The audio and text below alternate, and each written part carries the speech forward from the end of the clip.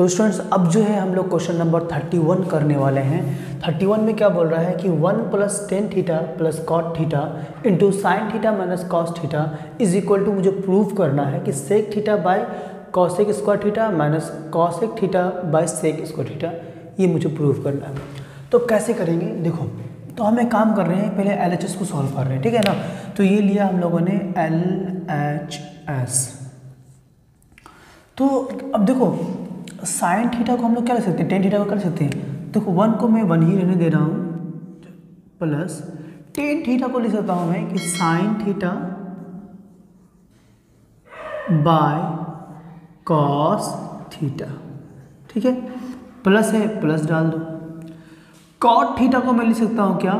कि cos theta by sin theta ठीक है?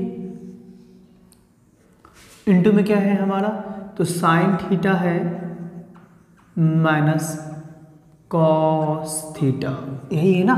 चलो, अब एक काम करते हैं, पूरे इस टर्म का जो है हम लोग, क्या करते हैं?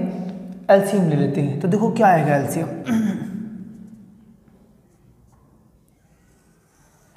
तो एलसीएम आ जाएगा हमारा cos theta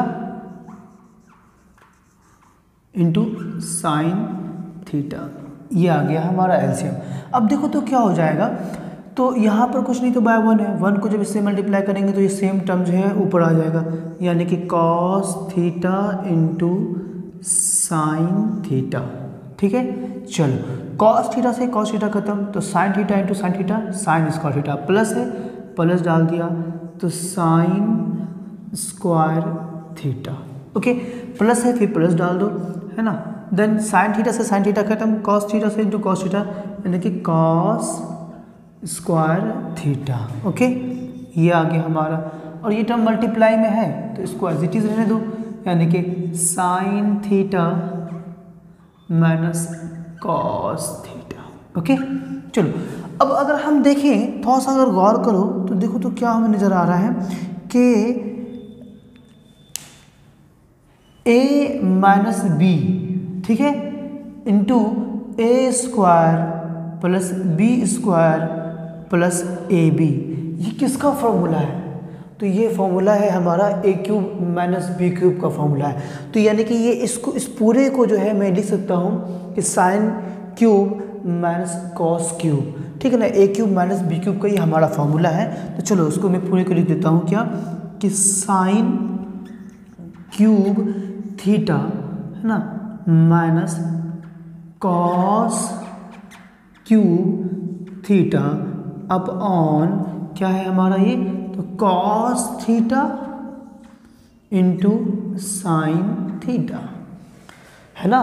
देखो ये A cube minus B cube का फॉर्मूला क्या होता है? A minus B A minus B into A square plus B square plus A B होता है तो ए बी आ गया हमारा। तो इसको जो है, इस पूरे को मैंने लिखा है, ये A cube minus B cube ठीक है? चलो, उसके बाद देखो, अब क्या हो जाएगा।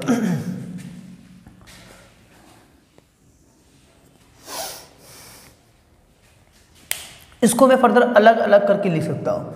तो देखो तो क्या हो जाएगा, इसको जब मैं अलग अलग करके लिखूँगा तो ये हो जाएगा हमारा कि साइन क्यूब थीटा बाय क्या है? Cos theta into sin theta है ना? तो cos theta into sin theta है ना? फिर क्या है? माइनस तो माइनस डाल देते हैं माइनस फिर क्या है? कॉस क्यूब थीटा तो उसको फिर इसके साथ में अलग करेंगे तो क्या हो जाएगा? कि cos cube theta upon cos theta into sin theta ठीक है? चलो, अब देखो तो ये साइन थीटा यहाँ भी है, साइन थीटा यहाँ भी है। तो ये साइन थीटा से ये क्यूब कट जाएगा तो स्क्वायर बचेगा। उसी तरह से कॉस थीटा से ये क्यूब कट जाएगा तो यहाँ भी स्क्वायर बचेगा। तो यानी कि क्या बचा अब हमारा यहाँ पर? तो ये बचा कि sin square theta by cos theta, okay? Minus से माइनस डाल दिया। कॉस स्क्वायर थीटा बाय यहाँ क्या बचेगा? Sin theta. ठीक है ना? चलो, अब आगे देखते हैं।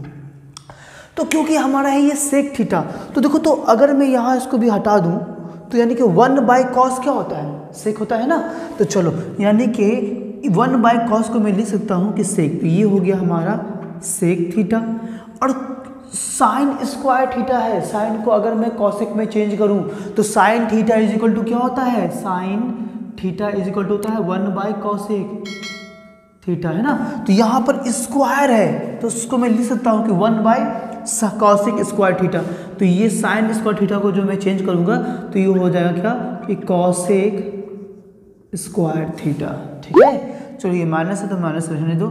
चलो, उसी तरह से यहाँ पे देखो, अभी वन बाई अगर मैं इसको हटा दूँ फ़िलहाल तो वन बाई साइन थीटा है ना? वन बाई साइन थीटा को क्या लिख सकता हूँ मैं कौशिक थीटा तो चलो ये हो गया हमारा कौशिक थीटा और कॉस थीटा को मैं चेंज करूँगा सेक में तो कॉस थीटा होता है वन बाई सेक थीटा तो यहाँ स्क्वायर है।